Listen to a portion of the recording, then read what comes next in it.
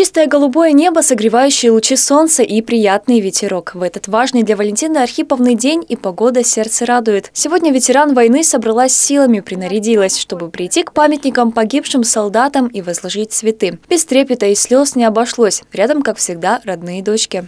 С кем всю войну прошли. А теперь вот последние И уже их нет. уже, уже практически Да. никого, Да. с- ни, ни тех, кто оставался в оккупации, друзей и знакомых, ни сослуживцев. Да. Пусть будет всегда вот такое чистое небо, чтобы подрастающее Да. поколение, Ой, пусть в а рассказах, сегодня пусть это не забывали. день.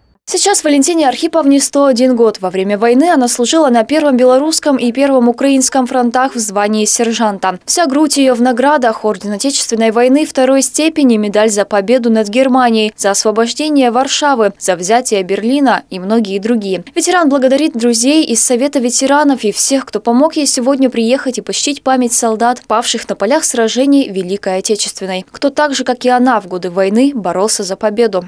Валентина Архиповна, ветеран Великой Отечественной войны, в День Победы 9 мая не могла по состоянию здоровья и с большим наплывом людей принимать участие. Но когда дочери изъявили желание, что после Дня Победы мы, Совет ветеранов, Департамент по делам обороны, откликнулись, депутатский корпус, ведь сегодня присутствовали, мы сделали все, чтобы привести ей, чтобы она отдала дань уважения своим э, сослуживцам. Мы восприняли это как урок урок мужества, урок как жить. Смотрите, войну прожила, тяжелейшие годы послевоенные и осталась. Смотрите, с улыбкой. С каждым годом ветеранов Великой Отечественной войны становится меньше. И сегодня в Петропавловске их только пять. Анастасия Кузнецова, Вадим Ударисов, МТРК. операторов